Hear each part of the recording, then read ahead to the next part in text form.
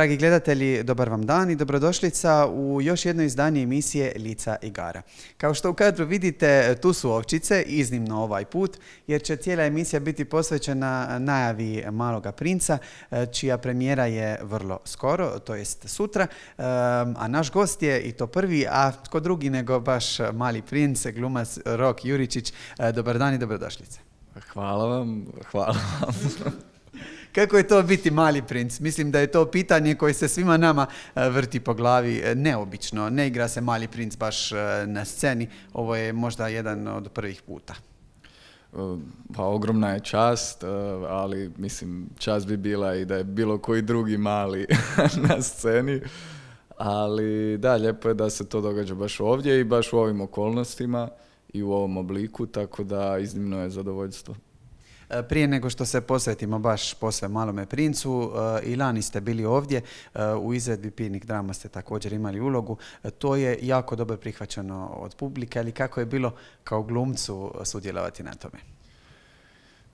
bilo je zapravo fantastično ovoga.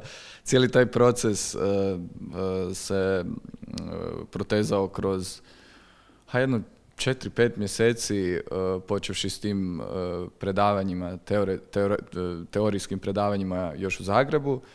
I onda smo zapravo mjesec dana radili intenzivno u Zagrebu, smo imali probe i ovdje još tih nekih desetak dana, ali je sve nekako, sve bilo jako konstruktivno i sve je išlo iz nečeg jako lijepog. I ono, baš sam tad, sjećam se i dalje to mislim, da sam baš mislio da ovako ono visoko institucionalno kazalište treba ovako funkcionirati jer e, smo svi iz toga užasno puno dobili, svi iz toga užasno puno naučili, uh, što kažem teorijskog, što neke širine i što onda u konačnici praktično, praktičnog i utakmica u nogama. Mm, tako da sve u svemu meni je to bilo baš, baš zadovoljstvo. Taj je projekt okupio baš dosta vas mladih i redatelji su bili mladi i vi glumci. E, to se događa još uvijek tako je, ali dosta vas se mladih okuplja i e, na Malome princu. Je li posebnije, bolje, u najmanju ruku drugačije raditi baš s mladima, s vršnjacima? Pa naravno, ne znam je li teže ili lakše, isto sam se to pitao i prošle godine. ovdje naravno postoji izazov da sad kad mi je partner Livio Badurina, ja se cijelo vrijeme intenzivno bavim time, bože moj, kao samo da ga ne uvrijedim svojom lošom glumom. A, a opet s druge strane mislim, ha, isto je i sa vršnjacima kad se pitaš e, jesmo li svi skupa zabrijali ili nismo. E, koga sve okuplja ekipa, malo da prođemo, baš tih vršnjaka, koji su zapravo neki od njih sudjelovali i lani? Pa zapravo od e, vršnjaka smo Livio, o, bože, od vršnjaka smo Hrvoje, Korbar, redatelj i ja. I Zdravka je isto bila prošle godine, ona isto. Svi smo mi tu negdje vršnjaci, ali su nas nekako e, godine ovoga razdvojile. Zdravka radi e, ponovno kostime i scenografiju, kao što radila i prošle godine za odbrojavanje. Hrvoje je režirao prošle godine treći dio ovog triptiha, onaj koji se odvijao na košarkaškom igralištu i ja sam ja. Kako izgleda predstava? Ne znamo puno, vjerujem da ne smijemo puno toga još uvijek e, ni saznati. Namijenjena je prvenstveno malima, ali i velikima. Pa ja ne znam je li, mislim ja nisam, ja nisam to čuo, ne znam je li to ovoga, je li se tako to uh, predstavlja. Ja osobno stvarno mislim da je to, uh, kako da kažem, pa to je, mislim, ja, ja se sjećam kad sam ponovno se primio Malog princa, kad sam saznao da, uh, da ćemo ovo raditi, dakle u desetom mjesecu 2018. I ja to na prvo čitanje nisam razumio, mislim, kao, ne, stvarno mislim da to nije, to je da je to literatura koju treba, koja je iznimno kvalitetna, pa ju zato treba hraniti uh, malima, ali to je literatura koja tek poprima svoj puni neki obujam kad smo ono veliki i ko zna, mislim, ko zna kako ću ju čitati s 40. Tako da ja svakako mislim da je to predstava koju da, trebaju doći vidjeti e, maleni, zato što ono što ja mislim da je njezina ogromna, ogromna vrijednost, e, to je da ona u svom konceptu ne negira kazalište, odnosno e, iznimno je kazališna i mislim da, mislim da je lijep, lijepa prilika da se malene upozna s time kako kazalište funkcionira, ali mislim da tamo, da to trebaju dolaziti gledat odrasli ljudi koji se trebaju sjetiti da nešto što je nalik šeširu je možda zapravo zmijski car koji guta slona. Kako je bilo kao glumcu, pogotovo mladom, što neprestano ponavljamo, uhvatiti se e, uloge malog princa, jedno dijelo koje je poznato diljem svijeta i koje vole stvarno, ja mislim, svi. Mm. Ah, da, e, ma, bilo je teško, mislim, ja uopće se e, ovoga ne, ne, ne ograđujem ikad priznat da je teško i da je, ali je zato zadovoljstvo, apsolutno.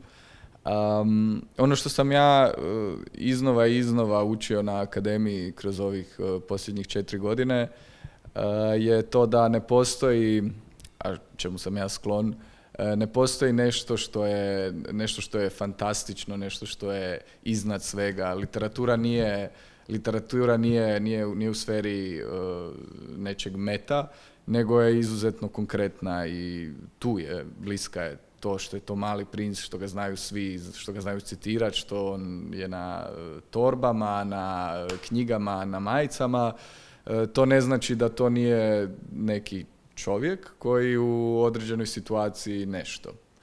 I ovoga, tako da je kao i sa svim, sa svim bilo kojim drugim e, likom iz dramske literature, uvijek se to svodi na to uh, otkud dolazi, zašto dolazi i zašto odlazi. Važan dio izvedbe je kako čujemo i glazba, kako je kao glumcu raditi uz glazbu. Pa meni je ono uh, što sam, ono što sam prošle godine naučio, a evo da se odmah na, na, nadovežem, uh, prošle godine sam imao iskustvo tog rada na stvarno Dubrovačkom i to ono intenzivno i Dori Šarić Kukuljica koju opet tu spominjem, ona je, za to, ona je to hendlala i u tome apsolutno, ne da je pomogla, nego je to stvorila.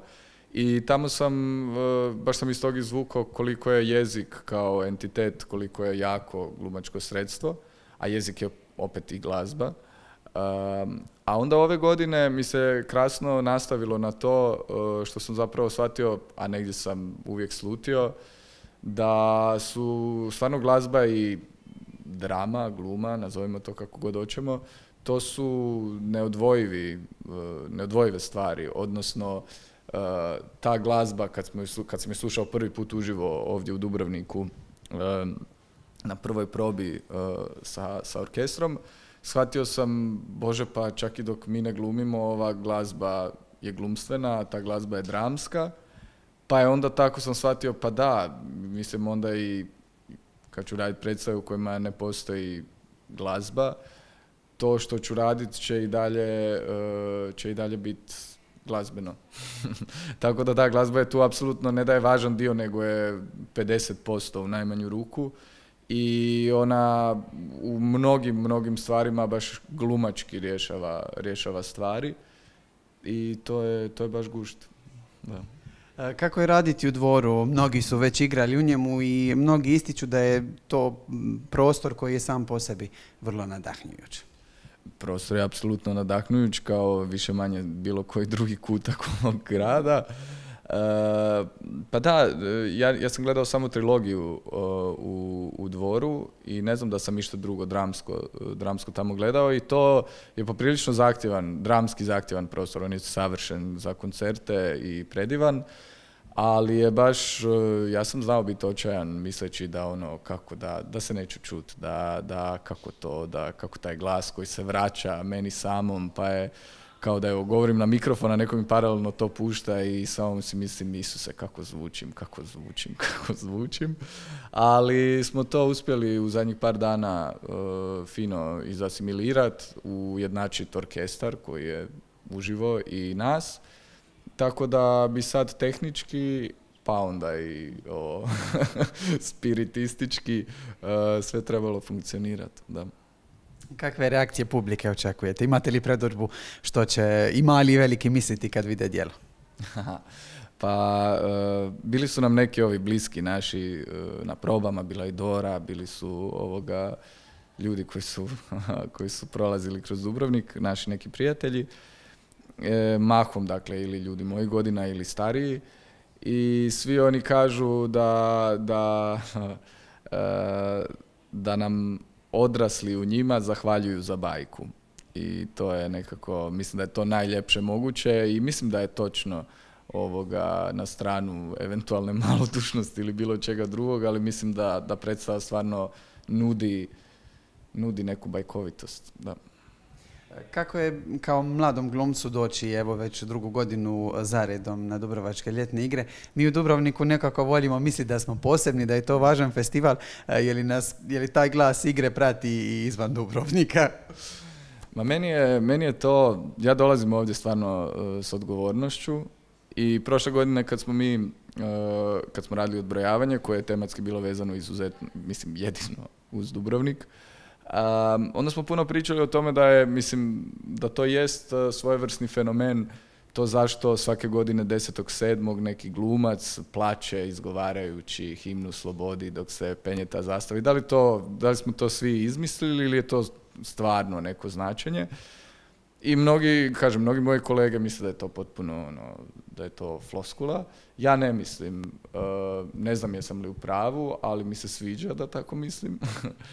I dolazimo ovamo, ja imam tu, meni je baka odrasla u, u Dubrovniku, njezin, njezin tata je Stonjanin um, i njezin je čak pradundo upisan u Dubrovačku trilogiju u Taracu kao biskup. I tako da me negdje ta i ona mi je to uzgojila, onda i roditelji i neki moj unutarnji, unutarnji osjećaj i potreba da ovamo stvarno dolazim sa odgovornošću i sa velikim, velikim, velikim poštovanjem. E, želim puno uspjeha u svim izradbama ove godine i povratak do godine i u ovom projektu možda i u nekom drugom e, i puno hvala na razgovor. Hvala vam. E, hvala i vama, dragi gledatelji, što ste do sada bili s nama. Ostanite i dalje tu, jer uskoro nastavljamo priču o, malom princu, a tko zna, možda i ovčica bude išla s nama.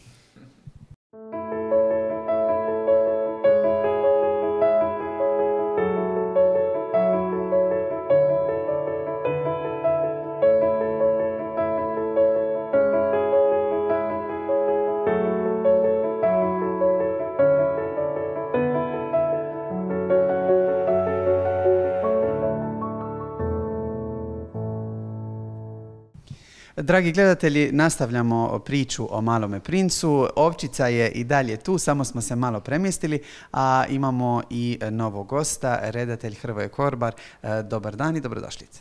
Dobar dan i vama. Dakle, kažem gost, ali na igrama se polako udomačujete. Ovo mm, sudjelovanje na Malom princu, dakle, nije prvo i, lani ste i vi bili na pirnim dramama kao jedan od troje redatelja. Kako je bilo prvo prebaciti se iz te uloge u ovu različita su djela i tekako? E, pa različite su dijela, različiti ansambl, dakle sve zapravo različito. Prošle godine smo dakle zajedno radili Marina Pejnović, Lea Fleger i ja. Svako je radio svoj dio predstave koji ipak trebala imati dojam neke cijeline. Radili smo sa našim kolegama s fakulteta, dakle sve sa ljudima s kojima ipak uglavnom provodimo cijele dane, svaki dan, više godina, tako da je potpuno neka druga bila i energija oko toga i potpuno drugi zapravo i zadatak. Dakle, radili smo reinterpretaciju klasičnih dubrovačkih tekstova i bavili se zapravo jako suvremenim životom grada Dubrovnika, dok ove godine dakle zapravo radimo predstavu koja je djelomično namijenjena djeci, izbjegam reći da je samo za djecu, jer mislim da je to zaista jedno djelo koje je e, svevremensko i koje se može čitati ono bezbroj puta u životu da ti uvijek bude i zanimljivo i potpuno drugačiji neki doživljaj.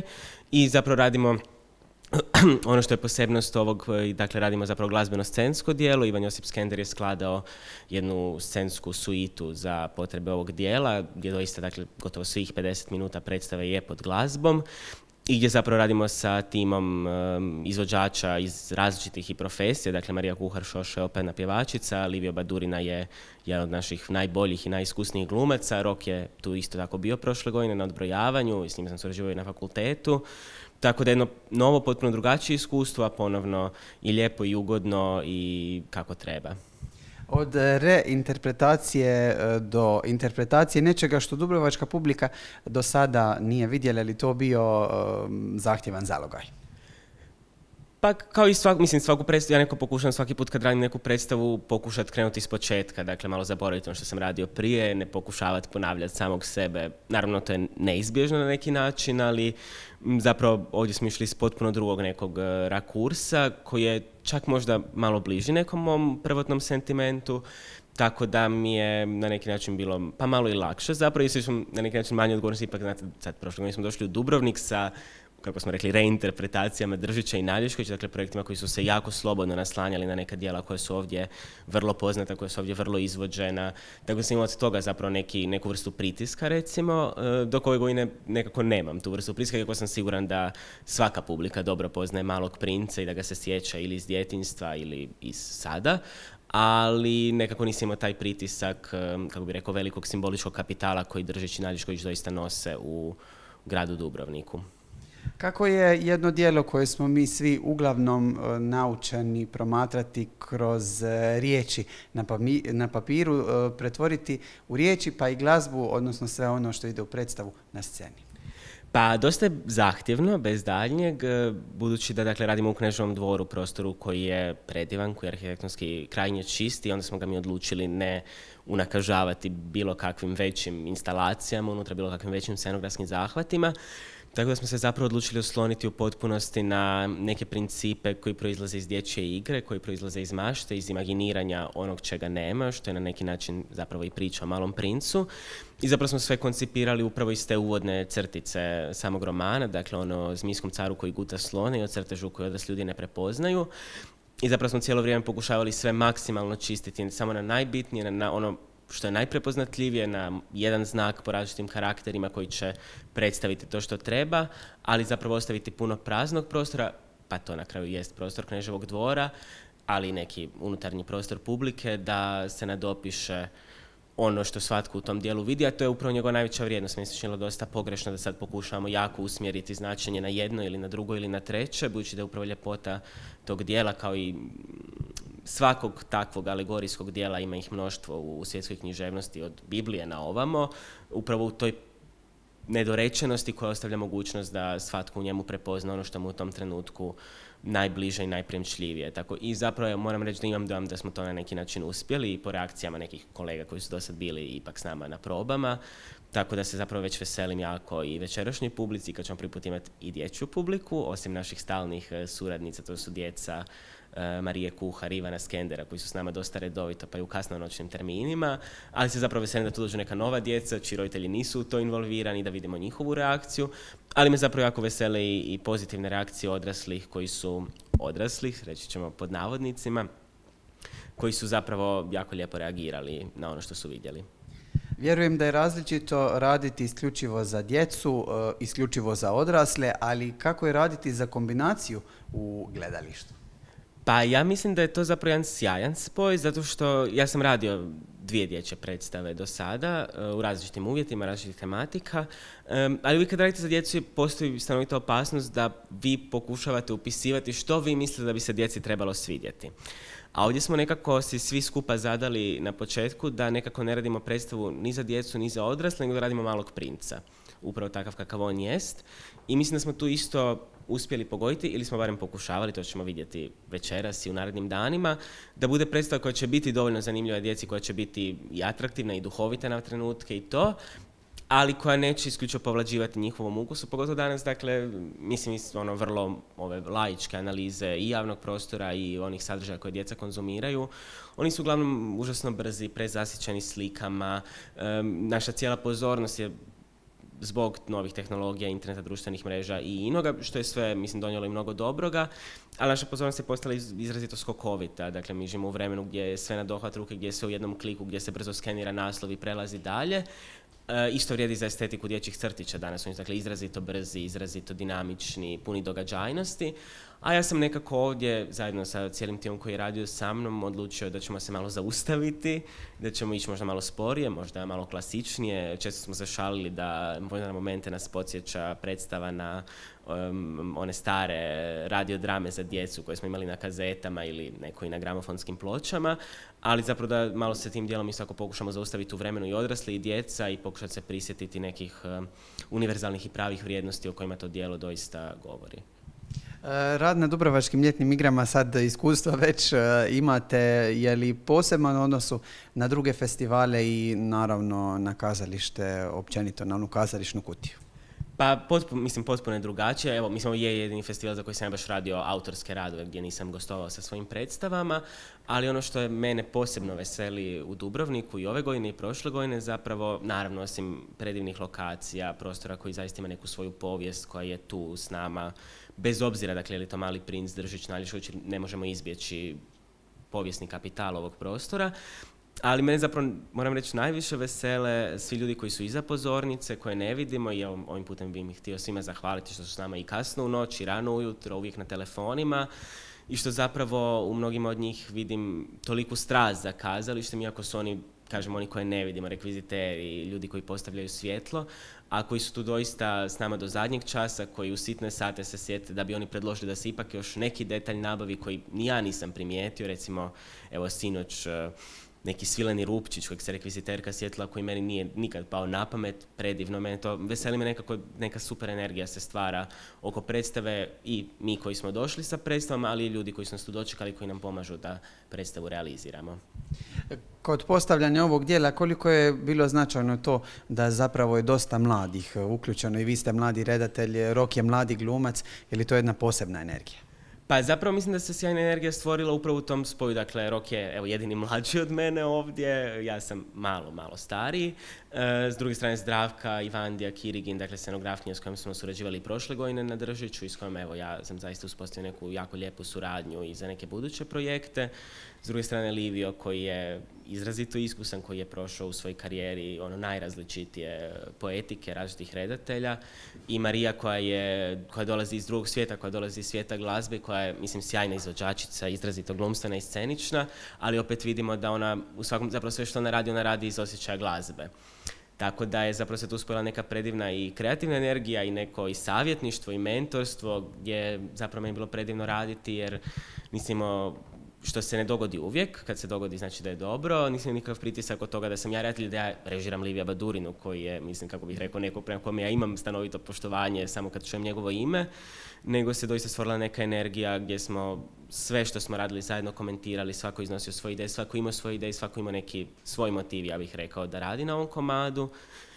Što bih ja volio da je uvijek, to naravno nije uvijek tako, ali mi je drago da je ovom prilikom i baš na ovom dijelu bilo tako, što sigurno nije slučajno da je to baš na ovom dijelu. Na ovom dijelu se zapravo radi na razvoju e, mlade publike iz perspektive upravo mladog redatelja e, koliko je važno danas raditi s djecom da oni steknu ljubav prema kazalištu. Izrazito je važno, od uvijek je važno i uvijek će biti važno. Dakle, kazalište je neki prostor koji bi trebao biti prostor slobode i prostor koji je dostupan svima, što srećom kod nas uglavnom još uvijek, čak bih rekao i ekonomski jest tako. Dakle, te karte jesu skupe, uspravi s tim koliko karte koštaju bilo gdje drugdje u svijetu su one beskrajno jeftine, dakle jedan loši ručak pojedete za cijenu karte. Ovaj, mislim da to je izrazito važno jer dakle, se djeca susretnu sa živom izvom, da dobiju naviku da se ide u kazalište, da prepoznaju kazalište kao prostor u kojem se oni osjećaju dobro, u kojem oni čuju neku priču koja im se sviđa, u kojem oni možda jednog dana mogu sudjelovati. Ja sam upravo zato radio i svoju prvu predstavu koju sam radio na fakultetu. E, se zvala Kako nastaje kazališna predstava koja je nastala po slikovnici Ivice Ivanca jer je to knjiga zbog koje sam se ja odlučio baviti kazalištem. Ona je bila na polici mojih bake ide u Splitu i ja sjećam kad sam tu knjigu pročitao, sam htio odmah ići u kazalište, sam htio biti dio tog svijeta. I baš sam zato radio tu prvu predstavu da bih nekom djetetu prenio taj doživljaj, a mislim da i Mali princ zapravo na način na koji smo ga radili, mi nikad nismo skrivali da radimo kazalište, vidjet ćete svi koji gledate predstavu, dakle sve vrlo otvoreno, sve je rađeno upravo kroz tu ono osnovnu kazališnu igru, osnovnu ideju da prostor možemo lako transformirati u bilo koji drugi prostor samo riječju, samo jednim znakom, tako da se nadam da će ovaj mali princ biti poziv djeci da i sami rade kazalište, da rade kazalište doma, da dolaze u kazalište, evo i Paolo je, dakle, kao ravnatelj KMD-a počeo raditi dječje predstave, to mi jako drago i čujem da nailazi na lijep odjek, tako da se će biti više sadržaja za djecu u Dubrovniku i da će to sve skupa još da se stvara i nova publika i za festival, i za kazalište, i za budućnost. Evo rekli ste da pozivate djecu da rade kazalište doma. Mi smo nekako u kadru htjeli napraviti kazalište s ovim rekvizitom. Ovca je primjerice jedan element iz Maloga princa. Ima ih puno. E, ruža je neizostavna. Znam da možda nije sve moglo stati u ove izvedbe. Hoćemo li vidjeti neke ključne elemente na koje smo e, naučili? Gotovo je sve zapravo stalo u izvedbu i ja sam odlučio kada smo počeli pripremati tekst da ja sam radio i dramatizaciju i režiju da ćemo zapravo biti vrlo vjerni samom izvorniku, zbog toga što je on toliko poznat, on je zaista jedno ikoničko dijelo svjetske literature. I s druge strane zbog toga što je on toliko sjajno napisan, dakle to je toliko precizno u jednostavnosti, u tom minimalizmu jednom izričaju, da bilo što tome dodavati ili previše oduzimati mi se činilo nekako krivo. I ja neko mislim da ja nisam mogao biti bolji od tog egzuperija pa sam se malo unizio pred njim i mislim da sam napravio dobru odluku. Ovaj, tako da sve će biti i ruža i lisica i zmija i planeti odraslih ljudi kroz koje mali princ e, prolazi i pustinja, a veseli me zapravo da će i djeca i odrasli vidjeti jedan drugačiji način na koji smo sve to uspjeli staviti u Knežev dvor. E, sad se još više veselimo izvedbama Maloga princa. Najljepša hvala e, na vašem vremenu na ovom razgovoru i puno uspjeha vam želimo. Hvala i vama i evo pozivam sve da dođu i uživaju u predstavi. E, čuli ste, dragi gledatelji, ovaj poziv i naše riječi. Hvala i vama što ste i danas bili uz emisiju Lica i Gara i lijepi pozdrav do idućeg susreta za tjedan dana.